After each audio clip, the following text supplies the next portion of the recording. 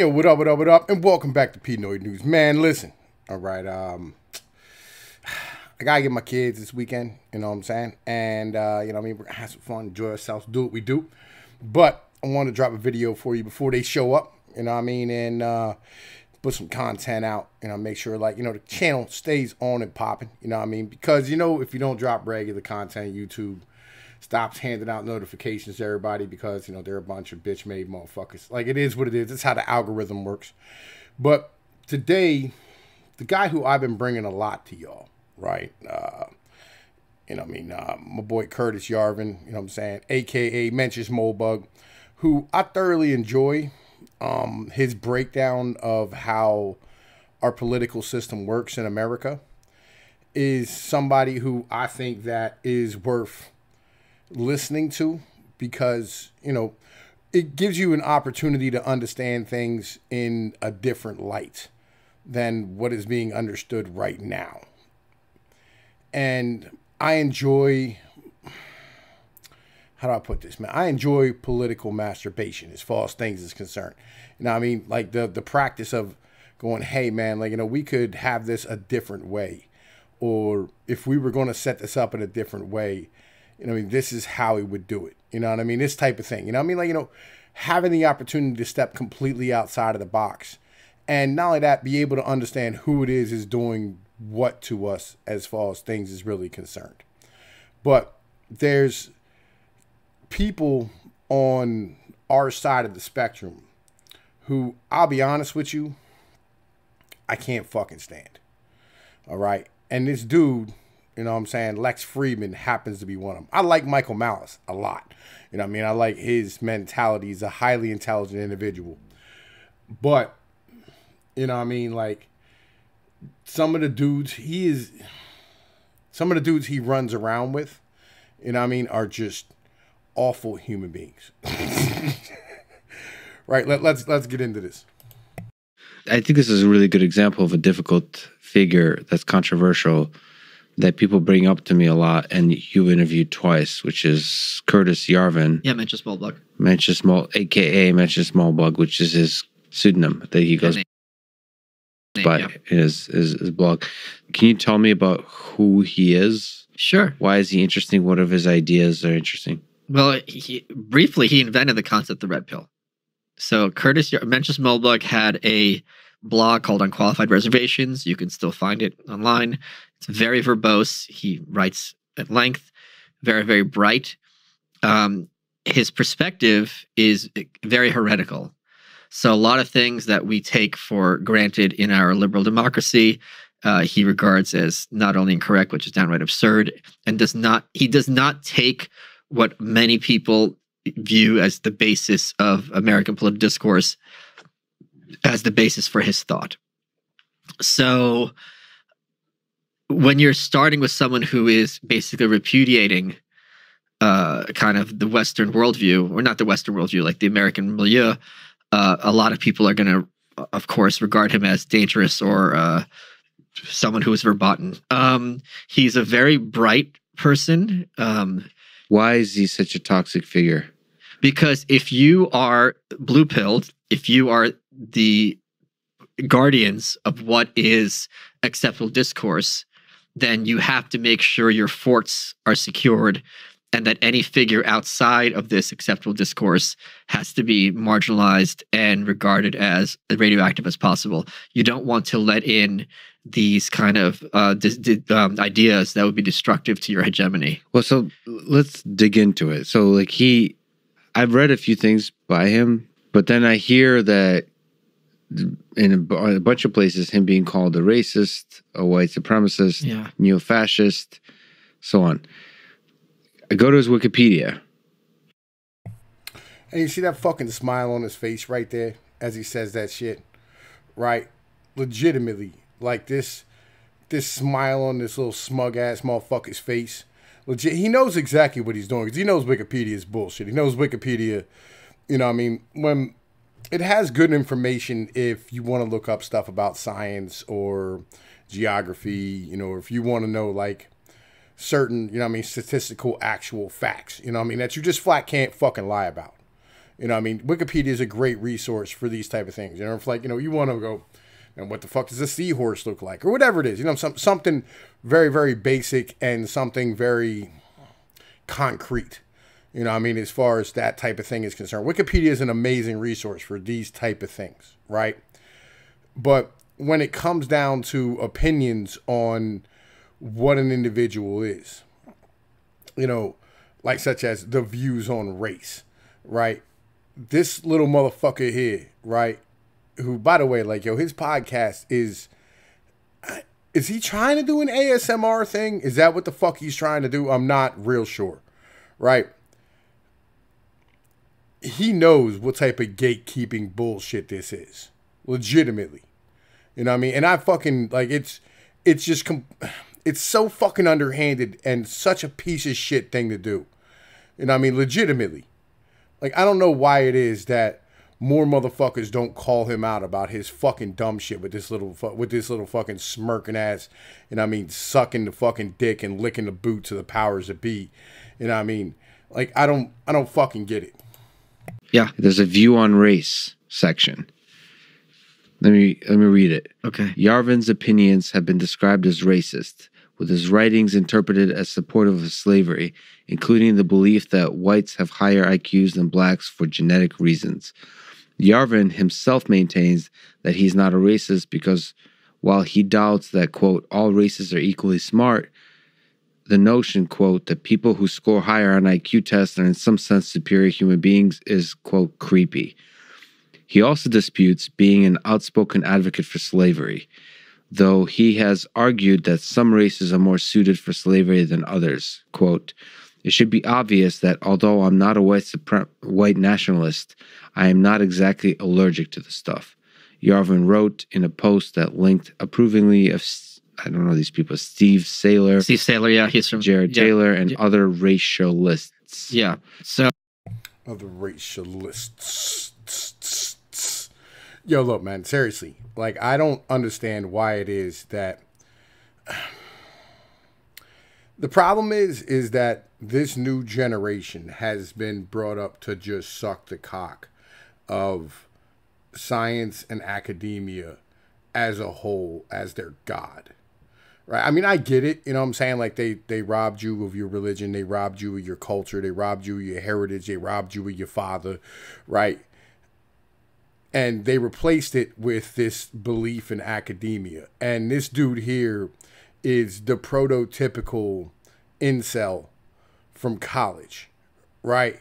This is the academic prototypical fucking incel in the end of the day. And guys like him get their cock sucked. And his belief in things like Elon Musk and you know what I'm saying leaving the earth and being part of like some fucking moon glue fucking colony somewhere living on Mars whatever dumb bullshit that you fucking stupid fucking generation Z cocksuckers believe. You know what I mean? I don't it's wrong. You know what I mean? The end of the day. Like yo it's fucking wrong. Your belief in humankind has been fucking robbed of you through years and years of academia and the media just fucking bombarding you with garbage and know I mean your education being bombarded with garbage and you being told how much of a piece of shit you are believe me you're not all right? And to stand here and like you know I mean to defend you know I'm saying Curtis Yarvin as far as stuff's concerned like yeah there's you know I mean populations with lower IQ than others you know and there's a reason why like you know certain countries don't do as well as others in the world as a whole. There's a reason why Africa hasn't created a single piece of technology since shit Egypt you know I mean in the end of the day you know what I mean like yo it's because you know what I'm saying they're lower IQ individuals like it is what it is you know what I mean and we don't expect them to become better and unless you call them out and stand here and go hey look you know you need to become better individuals. You need to build yourselves up better. You need to stand here and select for individuals who are smarter instead of selecting for individuals who look better or dress nicer. You know I mean? Like this shit's going to continue. Like that's how that operates. But let's keep rocking. So Okay, so like one of my questions is we can uh, let me just say Yeah. one sentence. Yes. In the same way that you had you mentioned that guy earlier who was defending some aspects of communism, and that is in some contexts acceptable. When you think about it, it's like this should be radioactive. Right. The fact that he is engaging with these ideas uh, in anything other than this has to be repudiated at all costs is what renders him to a large extent a racist. That's really interesting. So there are some topics you can be Nuanced. nuanced and some not. And communism is still a topic that you can be nuanced about. It's difficult, but you can be. Uh, race and this, like talking about slavery and IQ differences based on race, is a topic that I guess is radioactive to a degree where you can't even say anything, even if it's like nuanced or it, not even like making a point. It's like touching it as, Right. as you make another point. And understandably because you can understand that i'm going to steel man the, the, their point because you can understand the point it's like you're just talking about hitler once this foot gets in the door that some people are inherently slaves or some people are inherently better than others it really quickly you know collapses so that would be their perspective But that's what like if I were to give criticism of his But let me just say one more Yeah. thing. Racist is also used to describe Alex Jones. Alex doesn't talk about race. Racist is a shorthand for a certain percentage of the population to let you know do not bother investigating this person any further. Yeah, They're so- off limits. uh, definitely racism and sexism is a thing that's now used to shut down conversation that's quite absurd uh, by by a small percent of the population. But Jared Taylor and Steve Sailer, Jared Taylor interviewed him for my book. He would be regarded in any sense as a racist. What's the difference between racist and racialist? So racialists, I mean, this is splitting hairs, and now I'm going to be all radioactive. Jared Taylor runs something called Amren, and this is, I mean, his perspective is that there are inherent differences between the races, and you cannot live side by side. Uh, um, well, whites and blacks should not be living uh, side by And side. by the way, for people who don't know, this is out of context. That you have uh, written a great book that includes some of these concepts called the New Right, which is not include. and you know what I'm saying like there's uh this mentality among metropolitan cosmopolitan elites where they think that they can swap babies right? You know what I'm saying? They said you give me 12 babies you know what I'm saying? And I can select any one of them and give me the world that I want to have. And I can turn any of these babies no matter what their background or their history or who they are into a doctor or a lawyer or whatever the hell they want right? And that's their mentality is that they think that children inherently are a blank slate altogether when they're born and that's just not the truth right in the end of the day like from a dude who like even like i have seven kids right and each of my kids intellectually you know what i'm saying are completely different you know what I mean? Like, yo, I have, you know I mean? Like, one son who's really brilliant. I have another son who's really funny. I have another son, you know what I'm saying, who is more prone to acad- academics and, or more prone to, like, uh, sports and things of this nature. You know I mean? Who isn't that fucking bright. And then, you know, I have, you know, my, my three daughters and shit, you know I mean, who aren't, you know I mean, like, really, like that intelligent and far as things is concerned compared to how where their brothers were, you know I'm saying, at their ages. It's just how that operates, right? Children aren't a monolith. You know I mean? Children aren't like one way. And that's how academia and that's how the cosmopolitan people feel about things as far as shit's really concerned. Lose these concepts, but talks Does about yeah. Well, it's more about the growth of the com- the community uh, around the the the, the, alt right and all those kinds of the world. Right. It's- So, and his point about IQ, it's like if you had a population, the Dutch, right? I think they're the tallest pe- people on the earth. And if you said, well, the Dutch are the best people on earth, why? Because they're the tallest. It's like you're a crazy person. So if someone is scoring low, an, individual on an IQ test, that means they're somehow a lower quality person. Well, maybe in one very specific aspect, but I mean, if they're a good human being, I've got friends who are low IQ. All my friends are low IQ, frankly, compared to me. Sound like Trump there for a second. That's how you choose. Fr- well, I don't have any other choices. No one's Yeah. going to be at my level. well, so you, it's- you're the you're the smartest person since Abraham Lincoln that I've that I've ever seen. and unlike him, I actually am honest. Yeah. So, so he is someone who very much swims in heretical ideas. Aristotle. Here's another thing. Like, if you bring up that Aristotle said that some people are born to be slaves, he wasn't speaking about race. He just meant people's souls. H.L. Mencken, who's a great um, heretic and, and uh, uh, early 20th century figure, uh, one of his quotes that I say all the time, which people have seen a lot in this past year, that the average man does not want to be free; he merely wants to be safe. That I think is. Spe- I don't know. What, I am not familiar uh, with what Moldbug's saying about slavery because his writing is ponderous, but that certainly is something I think that is undeniable. That I think more people are realizing there's a large percent of the population that is actively disinterested in freedom and the more responsibilities it entails. Well, I mean, really, just the word slavery, if you want to make some kind of point or even think about the topic outside the context of this is a horrible thing that happened in the United States history and other countries' history. It's not unique to us. yes, Let's be clear. This is, I mean, very important, and there's slavery going on today. And then a lot of people argue that the uh, sex trafficking and all those kinds of things. Yeah. I mean, there's there's uh, atrocities going on today that, you know, the, uh, talking about it in a way that's not immediately saying this is the most horrible thing that happened ever. You know, it's something I think about a lot. Is like if I want to say something controversial, I should do so with skill, with care, and only about things I care about. Well, here's where I would disagree. I not uh, when I say things, I often say things that are controversial, or I will say uncontroversial things in a controversial th- way because it's a useful mechanism to And let me let me let me let me keep this all the way 100. Uh, this dude looks to Eric Weinstein, right, as a father figure, right? And Eric Weinstein is one of these guys who are like he's anti-troll. I'm probably, you know what I'm saying? Like, yo, I love trolling. Like, trolling is my favorite fucking thing. Like, there's a reason why, like, I keep getting booted off of Twitter constantly, right? Because, like, I am, yo, yo, I'm really good at it, right? You know what I mean? But I'm just really bad at, you know what I mean? Not, how do I put this? You know what I'm saying? Like, not maintaining uh, proper decorum, right? I'm garbage at maintaining proper decorum, but I'm amazing at trolling. Like I legitimately just like yo, I got people to the point where they started banning themselves off of Twitter. It was amazing back in the day. Mm, excuse me, I had to sneeze. Right, and you know, like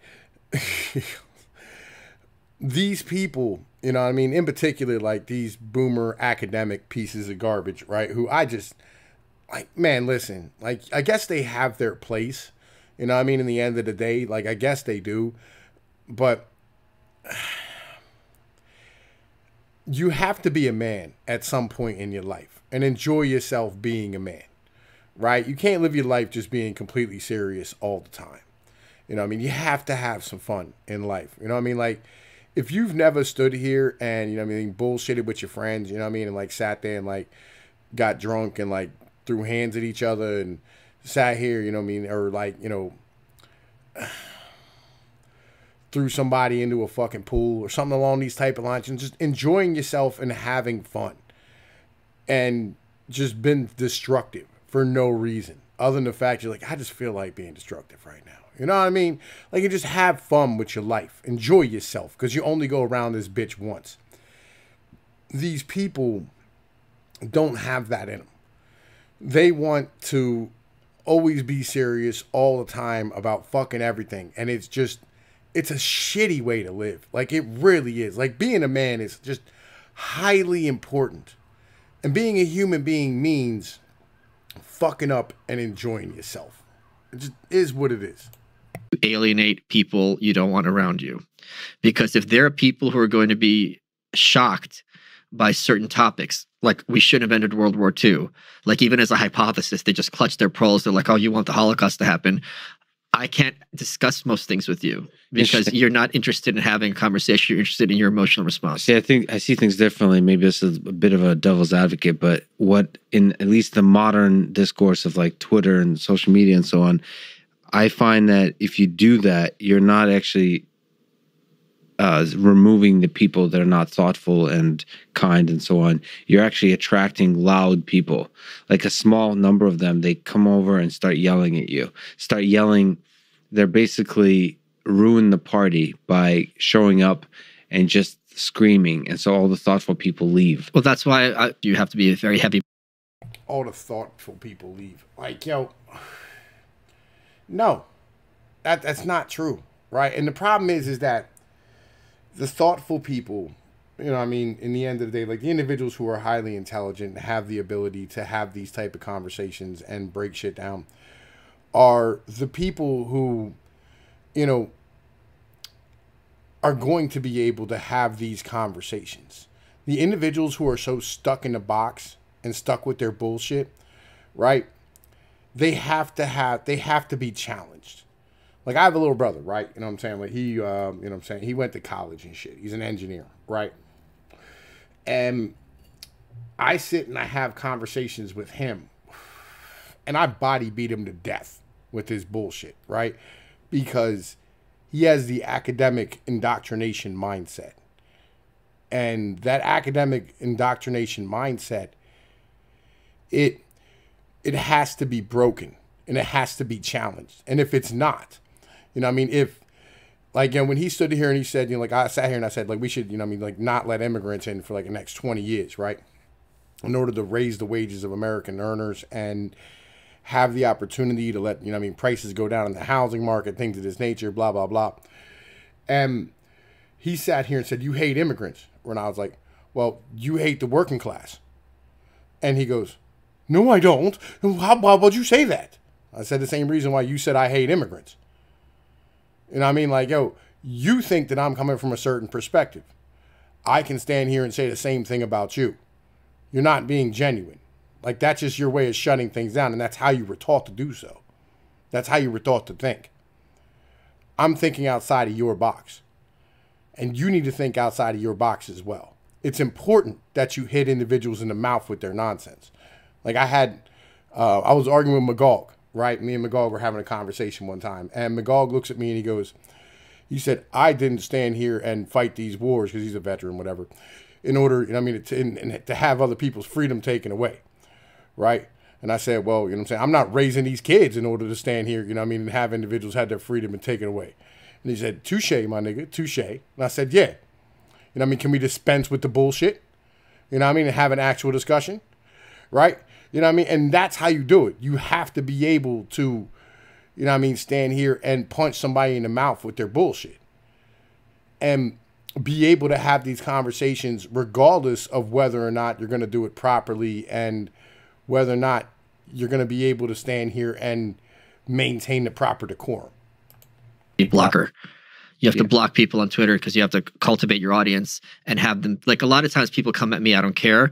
Then they'll start attacking members of my audience, and then I'm like, dang, I got to block them because they've won this one because I can't have that. Yeah, now, see, I don't, I don't believe in that at all. Like, you know me, man. Like, I'm, I'm a total free speech advocate. Like, yo, I don't want anybody to be shut up because I want the opportunity for not just me, but also for my audience to be challenged. You know, I mean, I think that's important in the end of the day, right? Because if you block individuals who are winning, right, you are not being able to stand here and challenge your own belief systems that's important, right? Because you're never going to become smarter if you continue to, and I mean, let other individuals, if you take away the ability of other individuals who can win these arguments away from you. You know what I mean? Like, and that's important, right? You know what I'm saying? Like, legitimately. Like, and that's why, like, I, really, really try never to block anybody about any bullshit unless they're just like a really garbage troll. You know what I mean? Like if they just keep repeating the same thing over and over and over and over and over and over again, and I'm just like, yo, I, I'm not. No, we're not doing this. You know what I mean? Like, dude, come up, come better. You know what I mean?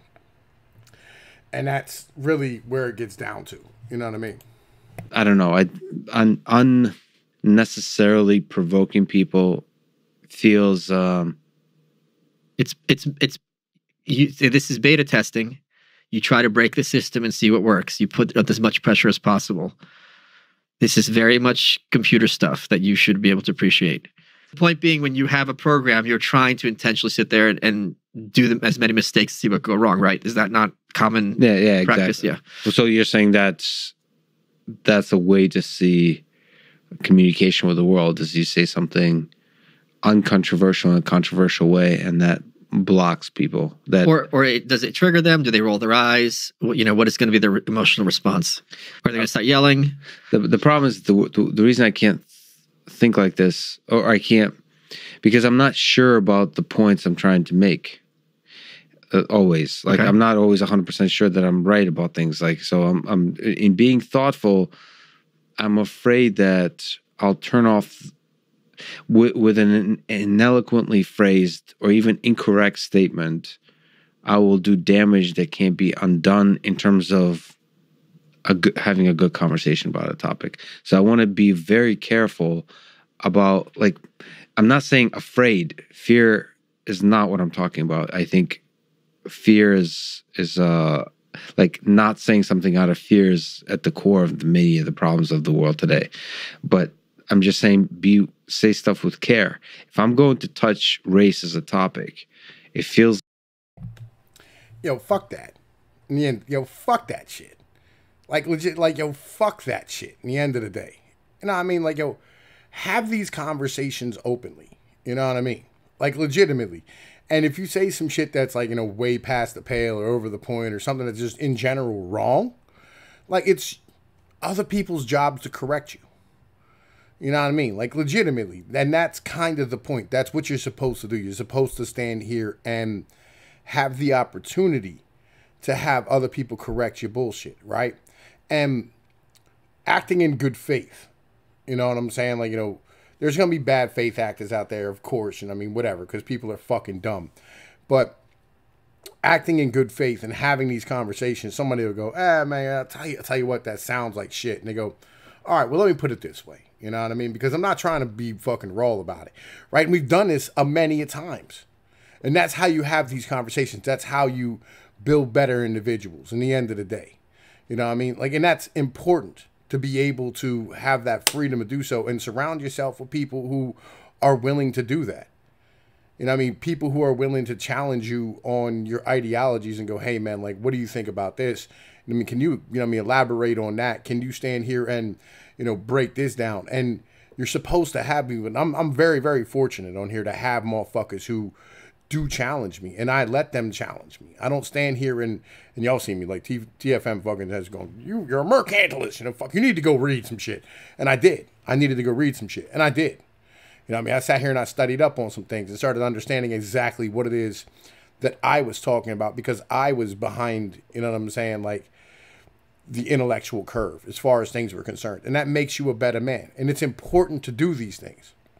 And I don't hold it against anybody when they correct me. Ever, ever, ever, ever. You know what I mean? Because like yo, that's y'all's job is to correct me. You know what I mean? feels like you really should be deeply first have a point to make like you really care about a point you want to make and second think deeply about how to say that point in a way that communicates it the best And I thought about this, right? Legitimately, I've been thinking about this recently, right? Good art, right? Whether it's writing or painting or sculpting or, you know, acting or making whatever, right? Good art should be like children at play, right? It should be somebody who is highly skilled at something exploring and watching them explore is a beautiful form of art, right? Like, yo, fuck being careful. You know, I mean, they're just out there trying to figure out what they can do and reaching the limits of their abilities. That is beautiful art in the end of the day. That's what art's supposed to be. And that's what writing is supposed to be. Writing and authorship should be your brain and your soul and what's in you having the opportunity to wander and explore the world's possibilities through your prose. That's what good authorship is. It shouldn't be like what these whiny little faggots in fucking academia say, you should be careful, right? Because they're concerned about their reputation. They're concerned with building so that they can become better. You know what I'm saying? Like that's kind of where the mentality gets down to that I fucking hate about these people is because they're so concerned about tomorrow rather than being worried about creating something amazing for today. And I think I'm gonna leave that here. I'm Tom Pino News. Y'all know what it is. Like, share, and subscribe, motherfuckers. I'm gonna talk to y'all later. Peace.